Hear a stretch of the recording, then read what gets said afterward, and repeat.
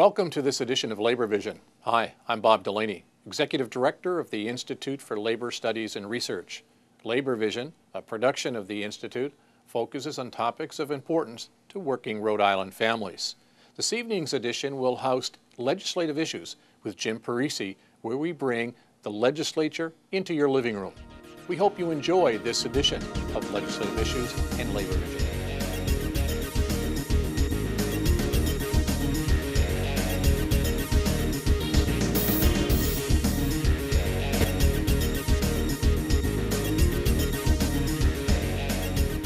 Thank you for joining us for this edition of Labor Vision, where we bring the General Assembly right into your living room.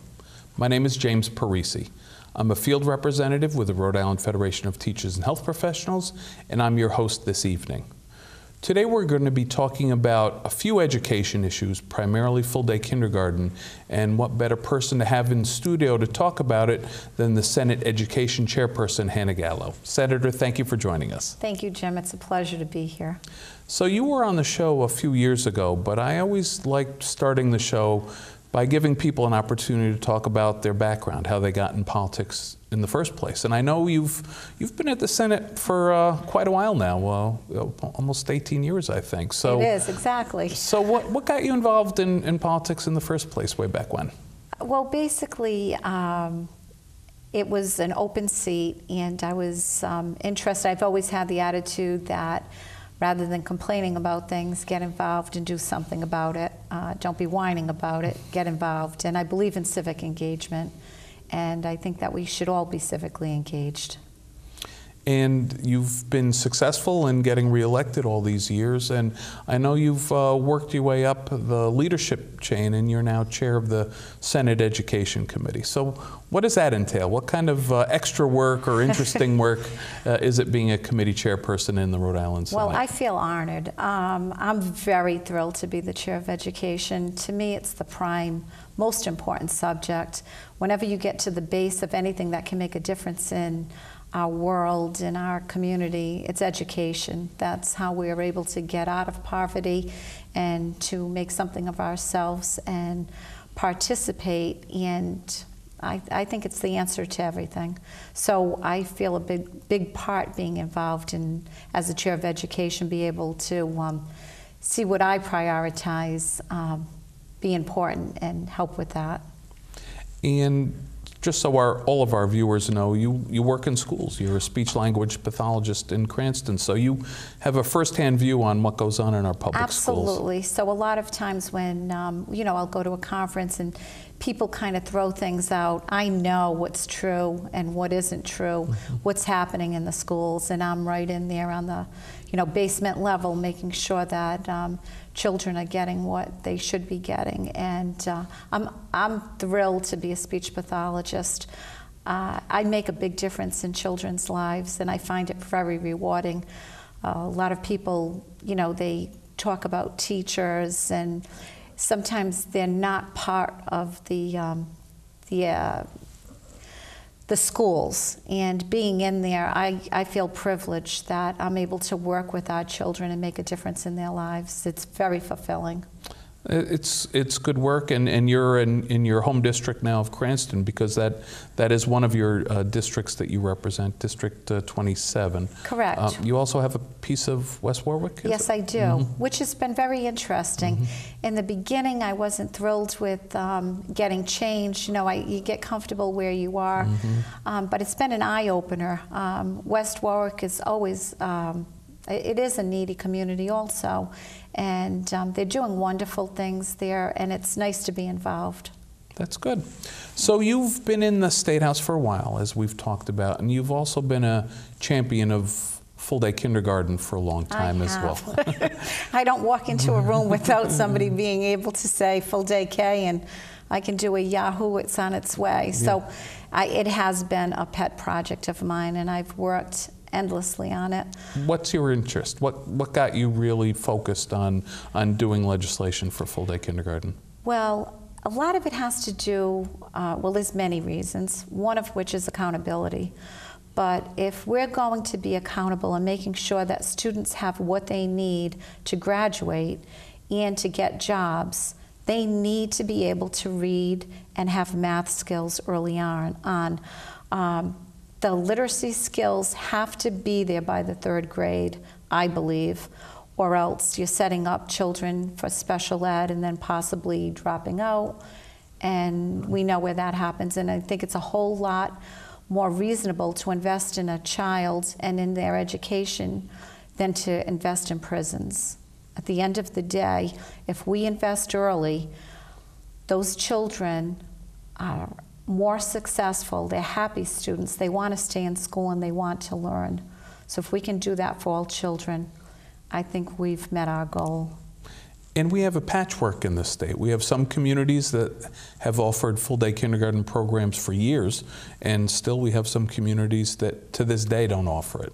And you know what? It's true. We still, at this point, I'm, I'm sorry to say, we have seven districts that still do not have full day K, one of which is Cranston, which really makes me very sad. Um, Cranston, as an urban, um, it, we, we have um, different levels of need within schools, and the urban being the most needy with the um, poorest children. And then we have ring communities, and that's what Cranston is. But more and more, we have more needy children that are coming to school, not able to identify letters or spell their names. And those students mostly, all students will benefit from full day K, but those poor students that really don't have basic skills, they're at a disadvantage. And I think it's a crime not to give them the necessary tools they need to be successful. So my union's been working on this issue for decades as well. Back back in the day, we worked with Governor Almond on getting districts a little extra money if they offered a full day program ins- instead of a half day program. It's been that long, but the governor has a different approach this year, and it's something that you've been working on. Why don't you let our viewers know what, what the governor's plan is on full day kindergarten and how, how that coincides with all the work you've been doing? Well, I have to compliment the governor. Um, she sees education the same way that you and I see education, that it's necessary. And this year she has put it in her budget that all um, school districts must participate by um, next year, the year um, fiscal year 16 17, all schools should have full day K.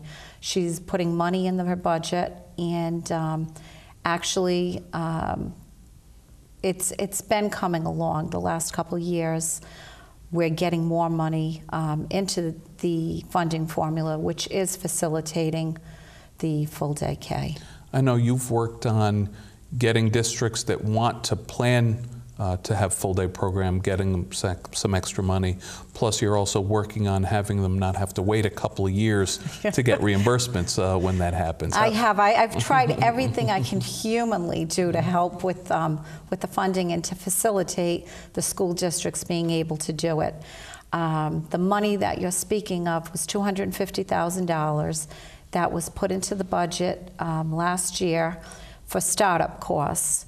Unfortunately, the way the money um, was put into the budget, the school system would have to commit to um, hiring so many more teachers, and the $250,000 for the startup um, cost wasn't enough to entice the school districts. Because, unfortunately, the way RIDE saw the funding, if you're a charter or um, a mayoral academy and you're a, K student, you get funded for full day K. Um, but in the public, regular public schools, um, they wouldn't be funded um, equitably so that the public schools could hire teachers to put the full day K in. Um, but that will all change. Every year I learn something new. and it has been about trying to entice the school districts to be able to um, support a full day K and have it within their budget and see it as a priority, um, which they all should. So you you hope and hopefully expect that when the state budget passes this year, not only will there be some language mandating full day kindergarten by um, September of 2016, I guess it is, Yeah. uh, but you also hope to see some issues related to how districts are reimbursed to help these seven districts that don't have programs right now that are full day. Correct, so that those students will be counted as full-day case students. Um, That's my wish. I just hope that at the end of the session, it goes through that way. Sure. And not be counted as a half-time student, because if we're, if we need to pay to have those classrooms open, and the students are there full-time, I don't understand why RIDE can't count those students as full-time. It makes no sense at all to Mm-hmm. me. That's how the education industry works sometimes, I know. unfortunately.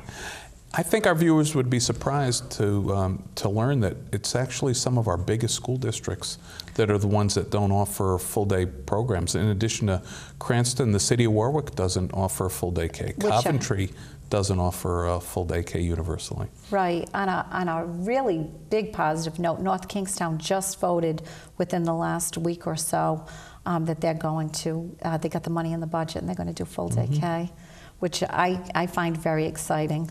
Um, they've actually included me in their emails, and I've been part of the process of following what they're doing and how it's going along. And being a champion of full day K, I'm very excited for them. Well, that's good. I know uh, I've had some exposure to Johnston, my hometown, um, another one of the districts that doesn't provide it. Uh, you know, looking at it now because they know they're going to have to look at it.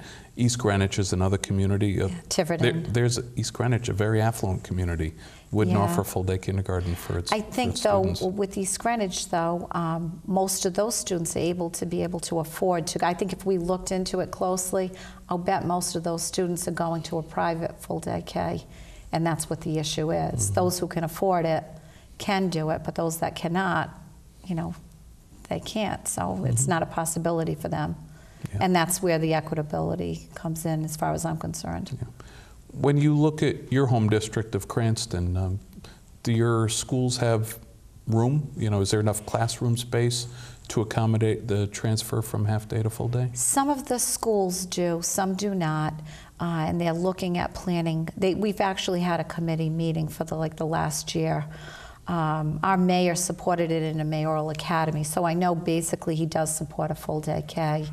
Um, the school has a committee that has been meeting regularly, and they're looking at school space. And it's my understanding that um, they're looking to put two on the east side of Cranston and two on the west side of Cranston this following year. And then, as you know, to begin the implementation and then move from there. But not all the schools do have um, space, but there's other things that can be done. You know, I worked in South Kingstown, as you know, and they had all the um, preschool and full day K all in one location in one building, which worked out wonderfully. And they did a really nice job with that. So it doesn't have to be in each school, which is nice to have it in your local school. But at the end of the day, if you believe in full day K, you can make it work. Sure, and I it ca- and it calls for a little creativity sometimes, but that's that's okay in order to you know, achieve an important goal. And and providing a full day program for our five and six year olds really is an important goal. Well, and, and even beyond the literacy and numeracy skills and the socialization, I, there's a gazillion which I won't go into. But even, you know, moms and dads, they, two and a half hours is not enough time in the day. By the time you're dropping them off, you, you need to pick them up again. And so most of those parents need to be able to work and have a job. And so even on that end, it's, it's you know, it facilitates the family, I think. Sure.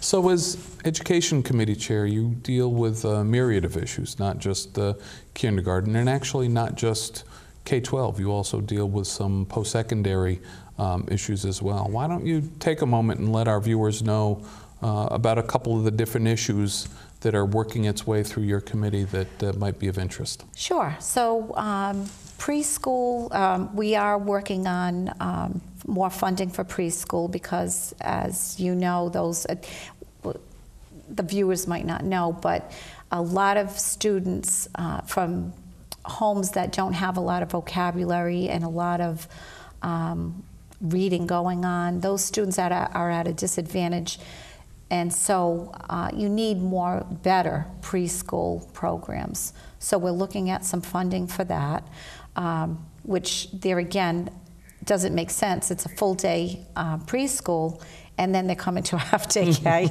but we are working on that, and those are for. Um, they're in very needy communities, which um, we need to expand a little bit more. First, full day K, but then I would say the pre K is also um, a very important issue. Sure. Um, we're also talking about music within um, the middle school. There's a bill right now in the Senate, and at this point, they're looking at getting ensemble, music ensembles in there and getting the principals to um, cooperate with that kind of information because it's a whole student that we're looking at, um, not just your math and your English. It's you know all those other classes that help make a whole student. I know a lot of teachers and parents complain about the accountability systems in our public education that um, that devalue anything that's not tested. So if it's a world language or if it's art or music, you know, things like that are really de-emphasized in our public schools because of this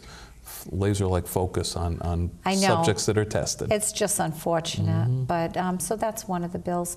The other thing that I think is very important that's happening this year is SARA, with, which is a uh, reciprocity agreement for um, online classes for our colleges, and that's um, being promoted through NEBHE, which is New England Board of Higher Ed, um, that I sit on. And it looks like we have something that's really going to happen. And I think it'll be good for those people that have left their college degree and weren't able to complete it. Um, they can get a couple classes online and then get the degree. We've done some um, studies, and there are um, many adults that have not achieved their college degree, and it's not through any fault of their own. Um, life happens, and they're not able to finish it. And I believe this SARA agreement will help with that. and they'll be able to do that through the public higher ed institutions here in Rhode Island, right? Yes, absolutely. So I think that's a, that'll be a huge help. And in our last uh, minute or so, the charter schools are always a subject matter of a lot of discussion and debate in the in the General Assembly. And I know the House has had a focus on some education funding issues, but your committee's dealt with some of those same bills that are, are related to charter school financing and the way uh, the funding formula works. Um, what, what you know, what could Well, you let our viewers know about what what's really on the table? What's being so considered? what's what's happening with that um, and the funding formula? We needed something, so I'm glad that that happened. But we're finding some faults within that, and there's equity issues, so that um, and a couple school districts like Cumberland is having some serious issues, and Lincoln. We just had the hearing the other night. So that when you go into the funding formula, the basics, um, there are other things in there besides just the basic education. So um, the high cost special ed services that are paid through a regular um, traditional public school. traditional that's it i'm sorry traditional public school they are paying out $100 million the mayoral academies charter schools have paid a half a million in this past year. So it's being put into the formula and the charter schools are being you know that's incorporated in it but it's not really as equitable as it should be. And there's many different issues like that. So i think we need to look at the funding formula and try to tweak some of the inequities that are that are happening. But um, I'm glad that we do have a funding formula. You know, that was my first pet pet uh, that that I needed to take care of. But um, it, it needs some work. There's some communities that are really suffering with uh, the inequities that are happening. Sure. And anytime you put legislative focus on an issue, um, hopefully we'll see some action. If not this year, hopefully real soon in terms of uh, fixing some of those inequities. Yes, absolutely. no more study committees. We're going to do something about it. Sure. Well, Senator, thank you very much for your time. You've been very generous with your time coming into our studio. Thank you. It's always a pleasure. Thank you. And thank you for joining us for this edition of Labor Vision.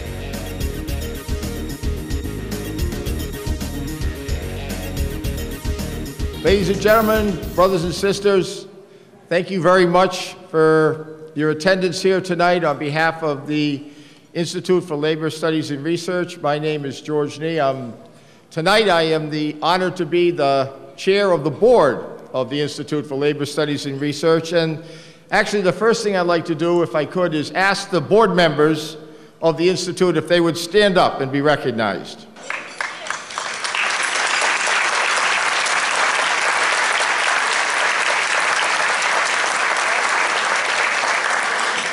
I told him I would not embarrass him tonight, but I said, I, but I'm going to. Uh, we have the uh, honor tonight of having one, the, the, the only original board member of the Institute for Labor Studies and Research, served on the board now for 35 years, Scott Molloy.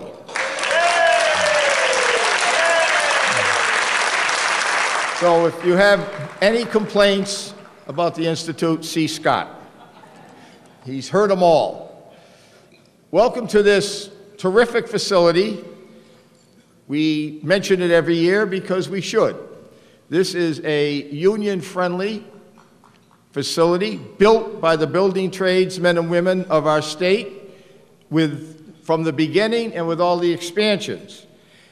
We, it's also the people who work here are all members of several different unions. IATSE, that's the International Association of Theatrical and Stage Employees, if you're going to challenge me on that one.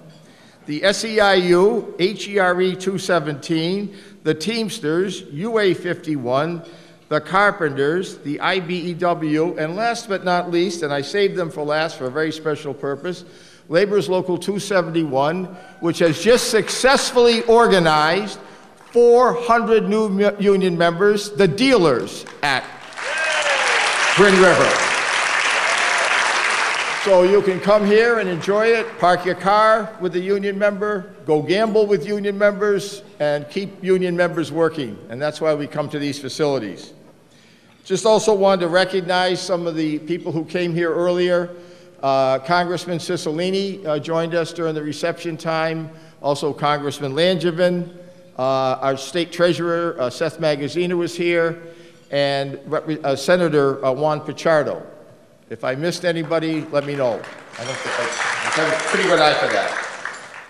So that's all I'm going to say for right now. We're going to save the excitement of who's going to be the MC tonight.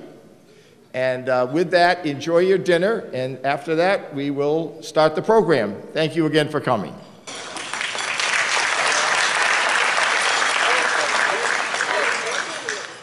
And before we begin uh, the, the, the uh, evening, where all the festivities, and we got a lot to do, and we're going to get through it all, I'm going to bring up Bob Delaney, Executive Director of the Rhode Island Institute for Labor Studies and Research. Good evening, everybody, and thank you for attending. I don't want to take much of your time because there's really a lot of important people here tonight, including Jimmy Riley, and I know his staff loves to boo him, so do it one more time. The uh, this whole evening, the work that the Institute does would never happen without a whole variety of people working together. Oftentimes at board meetings, many people on the board will make reference to the fact that they can't believe such a small group of people can do so many things. It doesn't happen just with the staff. It happens with a whole variety of people that will be introduced throughout the night.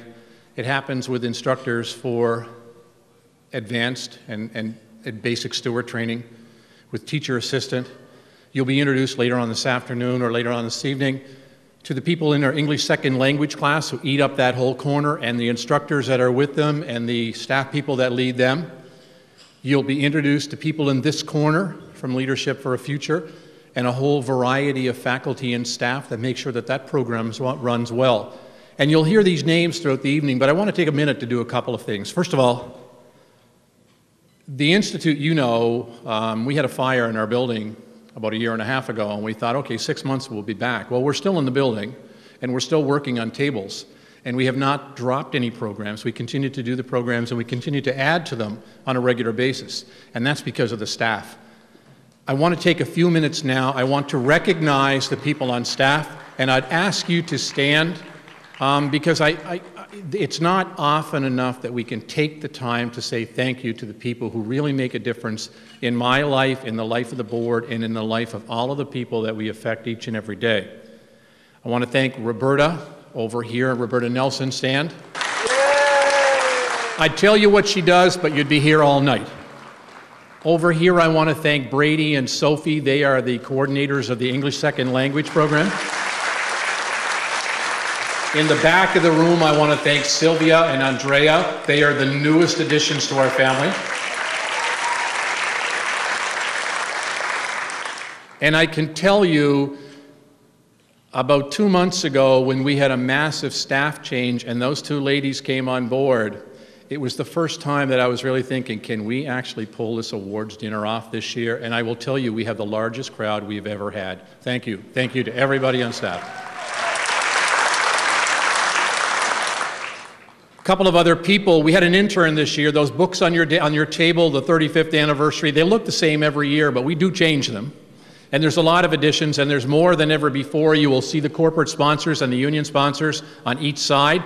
But on the screens, you'll see a rotation of all of the corporate and labor sponsors that we have. That booklet was put together by Kyle St. Pierre. He's an intern from RISD who's working with us. Kyle?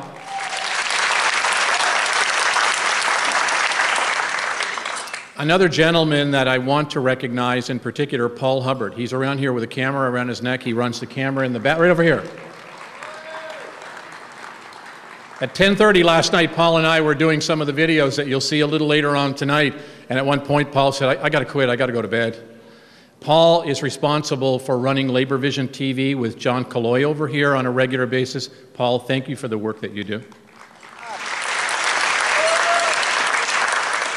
The, um, the Institute would not be successful without the board of directors, and you, George, recognized them earlier. I want to take two seconds and recognize them, but in particular, I want to recognize George Nee. Um, many years ago, when I decided to become the executive director, I had some real serious reservations about a decision I made about a month after.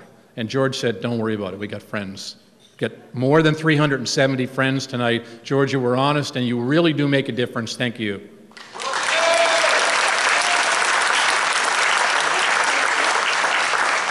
I, I want to I want to take one minute to talk about a few things that will not only tell my age and many of your ages, but this is the 35th anniversary of the Institute, and we really have come a long way. The Institute has survived a whole variety of changes. It moved three times. We recently had a fire. We've changed staff. We've changed board members. But the commitment of organized labor will always be strong and make sure it lasts another 75 years. We have strong union partners. We have strong partners in business and industry. And I can tell you honestly that we are getting stronger, we are financially sound, and we will continue to grow with your support. From all of the staff and all of the board, I want to say thank you very much.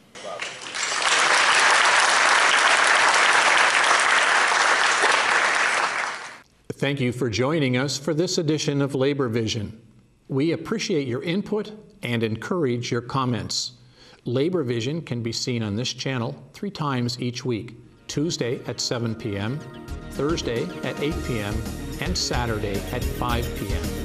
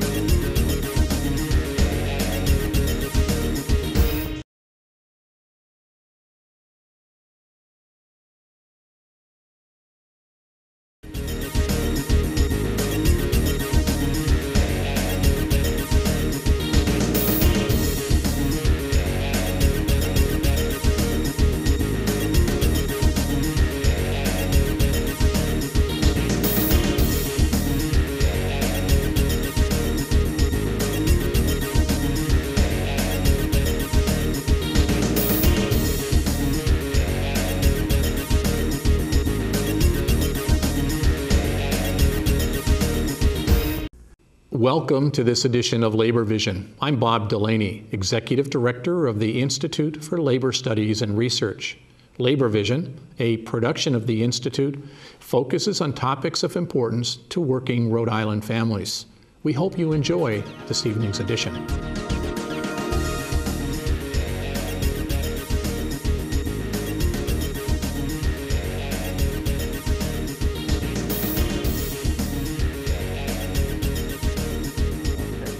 Good evening. My name is George Nee, and I'm the president of the Rhode Island AFL-CIO. And tonight we have a uh, very, very special guest uh, with us, uh, Mike Sabitoni, who is the president of the uh, Rhode Island Building Trades Con- Construction Council.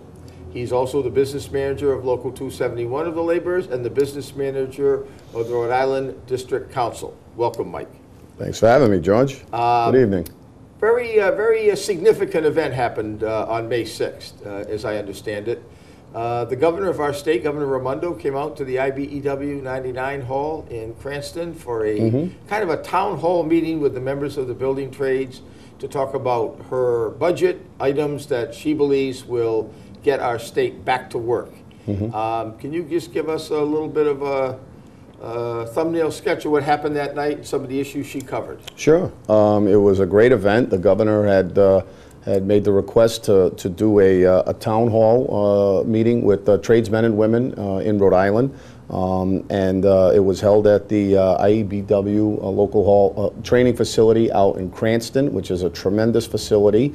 Uh, and the theme of that, uh, that visit was to showcase and uh, bring awareness to uh, continuing investments in apprenticeship and training, specifically in the construction industry, since uh, we know that um, our industry is a big part, a pivotal part of uh, her economic proposal to get the state going again, uh, with a lot of investments that uh, she's proposing in the uh, in her budget. Well, I know the governor has made her top priority, getting Rhode Islanders back to work and getting our economy back to work, and she's been very uh, supportive and understanding of uh, the role of the construction industry in making that happen. Uh, From your perspective, what are, what are some of the highlights uh, in her budget, and uh, how would they work? Well, the, the, uh, the single most important priority of the building trades in the construction industry for the last few years has been to deal with the moratorium on school construction in the state of Rhode Island. As we know, uh, schools are in awful shape ac- across the uh, state, especially in the urban corridors of, uh, of Rhode Island. Uh, and um, you know, the worst thing that we've done was to continue to defer much needed repairs and maintenance on these buildings um, over the last few years. And uh, uh, it's, uh, it's really one one of, the, one of the most important things that we can do to not only uh, make an environment for our young, uh, young people to, that's conducive to learning. You know, we, we always uh, showcase the importance of education, but yet we send them to, uh, uh, to uh, places that, uh, that don't don't really show uh, that commitment to education uh, by the by the condition of the uh, of the of the buildings. So uh, not only would we repair that, but uh, you have immediate impact on the economy by putting back uh, to work tradesmen and women who have been severely impacted with the economic downturn as far back as 2008. Uh, and you know, Rhode Island has still yet to come out of that uh, economic downturn. Even more specifically in, in construction, we, we average I have been averaging uh, as high as 40, 45% unemployment in the trades in Rhode Island. You know, uh, maybe as a side uh, note, uh, tell people uh, about that uh, young lady that uh, wrote you the letter from Roger Williams School and how the governor responded to that. That makes for, it's kind of an interesting story, and we participated in Yeah, that. we had the opportunity to visit the, uh, the Roger, uh, was Roger, Roger Williams Middle School in Roger Williams Providence, Middle yep. School in Providence, uh, and uh, it was an outreach from a, from a young lady who was doing her internship from Providence College, helping with a program called Generation X that uh, takes on uh, some civic priorities uh, as a test case and a learning uh, scenario for this happened to be a seventh grade class, and they reached out to me in my capacity as president of the building trades and uh, asked if I would come address their uh, their class uh, because their priority was to remove the school uh, building moratorium so that they could fix the school uh, that uh, that they currently attend. And I thought, uh, you know, what a better way uh, to actually use uh, to uh, to bring awareness uh, to, to the issues than having a seventh grade class reaching out to people such as myself and political leaders uh, to say, you know, this, this is so important that seventh graders are taking notice that, uh, that they need to fix uh, their crumbling schools. And I was fortunate enough. Uh, the email also said if you have any other uh, influential uh, friends or, or colleagues, bring them along. So I reached out to, to the governor's office and, and, and see if sh- she would be able to possibly attend as well as yourself. Uh, and uh, Maribeth Calabro from the Teachers Union and Frank, uh, Frank Flynn as well. And I think it was a, a very good uh, visit. Uh, so appreciative to see the young kids, uh, and uh, and again, just to bring awareness of uh, of what we're trying to do and the actual impact it has on seventh graders. Yeah, it was quite an event. The, uh, the governor stopped by and actually sort of taught the class. And I remember that uh, she asked them, look, now that you're engaged in this issue, I'm going to come back.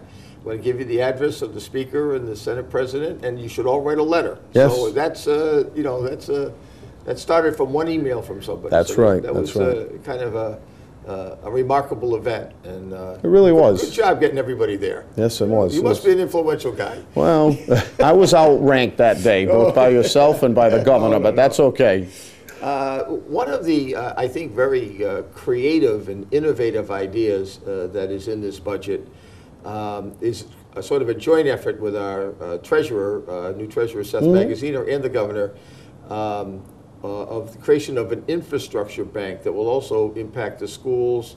Uh, And and so maybe just give us a few highlights of of what you know about that and how you think that could be beneficial. Yeah, then this program will leverage already existing funds to leverage more uh, appropriations of some leftover uh, funds uh, that, uh, that have not been spent, uh, to create uh, the opportunity to green up uh, public buildings, uh, as well as even some residential buildings, but mostly uh, public buildings, and uh, um, which again uh, is something that's, that's, that's extremely important. We have some of the highest uh, costs of energy in the country here in the Northeast, and a lot of our building stock uh, is not uh, energy efficient. So, uh, you know, it puts immediate people back to work, building tradesmen and women, constructing these projects and retrofitting these projects, and it also reduce uh, the overall cost uh, to uh, heat and cool these buildings uh, due to the conditions that they're in. You know, I happen to live in the Northeast, and uh, we've been around a while, so our buildings tend to be a lot older than uh, other areas of the country, and we have difficult winters and you know hot summers. So. Uh,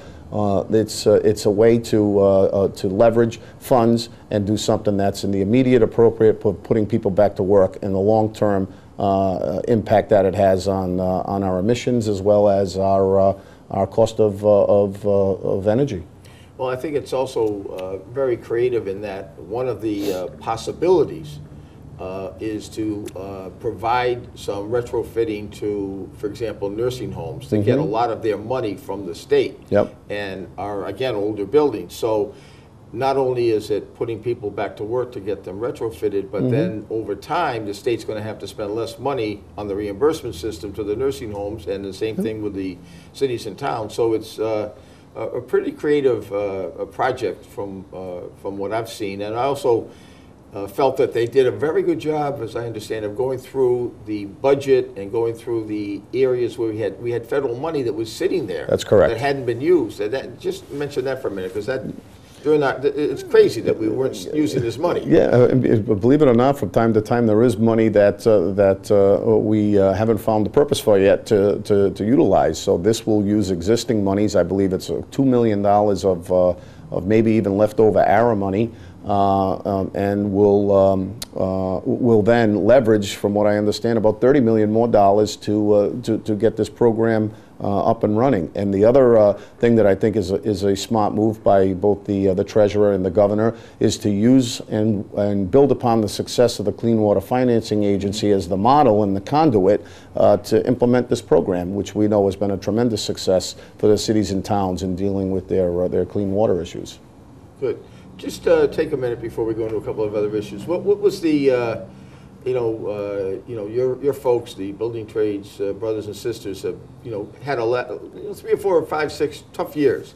Um, what's the mood right now uh, of the of, of that uh, of that event, that town hall? Do they feel optimistic? Do they think things are starting to turn around? Uh, I will, uh, I would describe the membership as anxious, but optimistic. Uh, I mean, optimism is definitely in the air. Uh, we were uh, big supporters of, uh, of Governor Raimondo through her campaign for exactly what we're speaking about tonight on these initiative, initiatives that'll get our members back to work, that we are part of the solution. You know, a vibrant construction economy lends itself to an overall vibrant economy. Um, anxious because it hasn't happened quick enough. As we know, in neighboring states, Massachusetts and, uh, and Connecticut are, uh, are, are, are bustling, uh, and Rhode Island has lagged behind. So we believe that all of these, uh, all of these incentives in the article, uh, the budget articles, uh, are, are pieces and, and tools for us to get the, get the economy going. And and you know, we believe that we're on the cusp of, of that happening. Well, before we wrap up, do you have uh, any other uh, specifics you want to mention? Any uh, things that jump out at you as possible, as real strong uh, articles in this budget that'll help us? I, I, like I said, I I just think that they all come together. You know, there's not one single uh, thing there that I think will solve the issues. I think it's a combination of, uh, of, of all of them and having the tools in the toolkit, to use a, use a phrase uh, from a building trade guy, Yeah. uh, that will uh, give the, the state options uh, that it can use when necessary to make sure that we, we get the economy going. Uh, and I do think that the, the perfect person for the job is the new uh, Commerce Secretary and Stefan Pryor, who is extremely well versed in how these things uh, intertwine and how to utilize them uh, to, uh, to get the, the, the Rhode Island's economy going. And I also like to commend as well the leadership of, uh, of Speaker Mattiello and Senate President Paiva Weed, who uh, uh, first blush have been supportive of most of these things. I know obviously there'll be some tweakage to the budget, Sure. but I think uh, you know with uh, with their leadership and working uh, together with with Governor Raimondo, uh, I think that's why you see anxious optimism from uh, from my members. Well, I know that, uh, and I'm glad you mentioned the Speaker and the Senate President, because I think they have set a course over the last couple of years to try to, you know, make this state uh, a more business-friendly state, which from a labor perspective is a good thing, because we want businesses to thrive, because that's where our people work.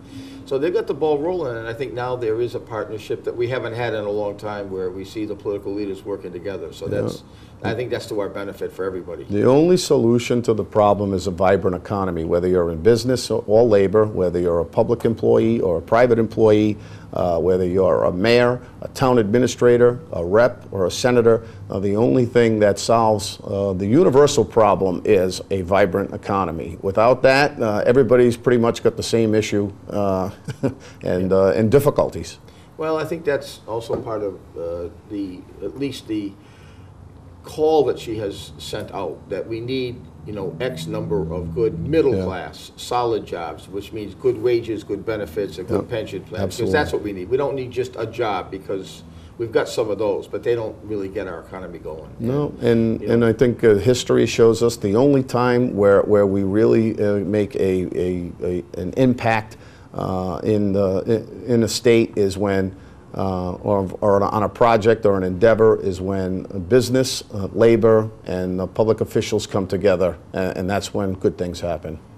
I think that's a great way to end this uh, show tonight. And Well, I uh, appreciate your time, you and I we appreciate you having me. coming in, and uh, you know everything you do to keep this uh, state moving forward and representing your members. You've done Mm-hmm. a wonderful job over the years, and it's, it's noticed because you know just that one student at Providence College That's knew, right. knew who to send a, an email to to That's get right. something done. And I appreciate all the support of, uh, from yourself and the, the AFL-CIO. You know, you work tirelessly on, the, uh, on behalf of, uh, of all working men and women, and not just union workers, but all. And, uh, you know, it's a pleasure for me to work with you, and I appreciate you having me. All right, good. Thank you. Take care. We have heard the labor perspective on the governor's budget. Now let's listen to the governor in her own words, speaking recently at the IBEW Local 99 Training Center. Thank you. Thank you, guys. It's great for me to be here, and you were very supportive in the campaign, and I appreciate that. And I'd like to think you did that because you knew you could trust me to work as hard as I can to get jobs into Rhode Island and to put your families to work, to put you and your families to work. And that's exactly what I'm doing. That's exactly what I'm doing. You know, I bet a lot of people in this room and your your brothers and sisters who aren't in this room haven't been as busy as you've wanted to be in the past two, three, four, five years. You know, it's a fact. It's true, right? Right? You spend a lot of time wanting to work, and there's no jobs to work on. And when you're not working, you're not getting paid, you're not paying into your health care, you're not paying in, and that's not the way it should be. So, my whole mission as governor is to focus like a laser on getting this economy going again. And that starts with rebuilding the state of Rhode Island. Because when we, when we rebuild things, you get a job. And the unemployment rate in the trades is still, how high is it? What, 20% plus? 40 and some? It's ridiculous. And there's no excuse. So let me tell you what I'm going to do. Let me tell you, I right now, I have a proposal in front of the Rhode Island General Assembly, and it's designed to do three things. Put shovels in the ground and cranes in the sky, lower the...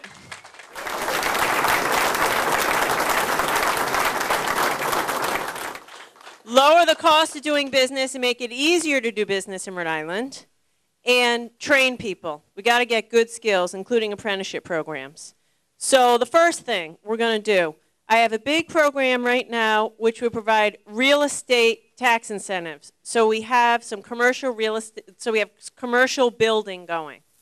It makes me sick to my stomach when I'm downtown Providence versus downtown Boston. Downtown Boston is a boom, downtown Providence is not. So every commercial real estate developer I talk to says they're ready to build, but because our economy is so depressed, they need a little help. So I think we should give them the incentive they need to get the buildings going, which puts you guys to work. That's what we got to do. Those are called Rebuild Rhode Island tax credits. We also have a jobs tax credit. I want, you know, give tax credits to companies to basically give them some incentive to add jobs. I want companies to come here and build here. And when they come here and they add jobs here, we'll build things here. It's so important. Uh, second thing is we got to make it easier and cheaper to do business. You know, the reality is a lot of people, companies don't want to add jobs in Rhode Island because they think it's too tough of a place to do business. And we got to change that perception. Uh, so one of the things I'm proposing is right now Rhode Island's one of the few states in the country where we actually tax businesses on the amount of electricity that they buy. We got to get rid of that because companies don't want to be here if we put that burden on them. And if they don't want to be here, they're not employing people here. Um, so we have to do that. I also have a huge proposal for the 195 land. So you probably know we rerouted the highway. There's a couple dozen acres in downtown Providence. I want to use that land. I want to have uh, all every square inch of that land should be to create jobs. So I have proposed a $25 million fund to kickstart development on that land. Listen to me. If we do this right, they did a program like this in New York City. They had Roosevelt Island. Roosevelt Island was just like 195 piles of dirt on the ground. And New York City came in there. They put some money on the table. The government said, We want you here. They brought together colleges and universities with companies, and they, they have a booming campus. And you know what happened? the first, you know, the first people that get put to work when we build these things? You guys, the building trades, iron workers. They are building a huge applied sciences campus. You know what it takes to build a campus? Iron workers, plumbers, pipe fitters, painters, laborers. It's about electricians. Come on, help me out. I don't know how to build a building. That's your job. Laborers, there you go. Look at me. There you go.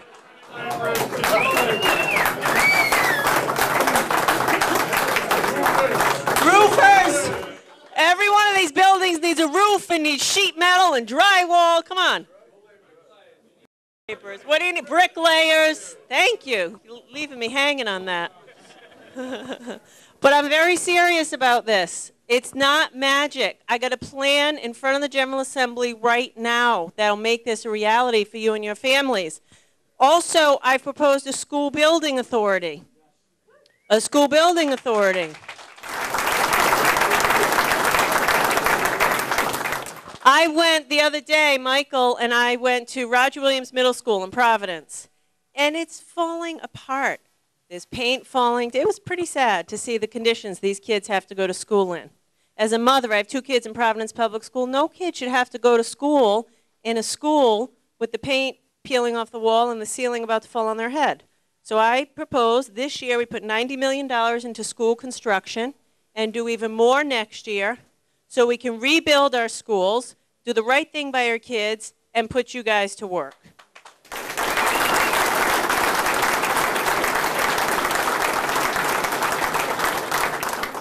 And then the last thing I have in there is an infrastructure bank, uh, kind of a green bank. You just, Mike just talked about uh, renewable energy and, and um, uh, energy efficiency. So this is a program we're going to put in place so that we can have money available to do energy, deep energy retrofits of municipal buildings and companies. And what we're going to do is we're going to get a lot of banks to come to the table to lend money to companies and cities and towns to do this uh, energy efficiency work. Uh, so if we do all these things, no one of these things is enough to move the needle. And that's why I put in a package that has five or six different pieces, because we need it. We need it. We don't need a little bit of change, we need a lot of change. We need all of it. The 195 land, the jobs credit, the real estate credit, tax increment financing, the school building authority, the infrastructure bank, we need every bit of it and then some to kickstart this economy. That's what I want to do. This is like to ignite the, the comeback that Rhode Island needs. Everywhere I go, I say to people, get on board with the comeback. Because we've been down on our luck for too long. And we got everything we need to make this comeback happen. The last piece of the jobs plan is to train people. The reality, and you, you do this better than anyone with your apprenticeship programs. Look, here's the reality people need skills to compete in this workforce. So I have a program to provide uh, college scholarships. I happen to believe every kid that comes out of a public high school in Rhode Island with a good, good grades should be able to go to college even if they don't have enough money to go. So we're going to start a scholarship program to pay for that gap. I also have a program I'm rolling out so that kids can take college classes while they're in high school. Too many kids go to CCRI and don't and drop out. They drop out because they have to work two or three jobs while they're there. And it takes too long to get their degree. So if they can get half of their degree in high school, then maybe they can get their associate's degree in only six months or a year. The goal for all of this is to make Rhode Island a place of opportunity. That's all we really want, right? People just need a chance.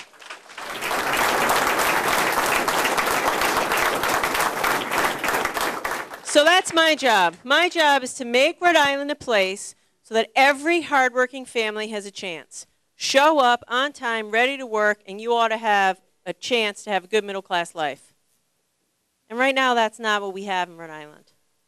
So I'm going to do everything I can to get every single bit of this jobs plan passed because times are too tough. The people of Rhode Island are depending on us. Thank you for joining us for this edition of Labor Vision. We appreciate your input and encourage your comments. Labor Vision can be seen on this channel three times each week Tuesday at 7 p.m., Thursday at 8 p.m., and Saturday at 5 p.m.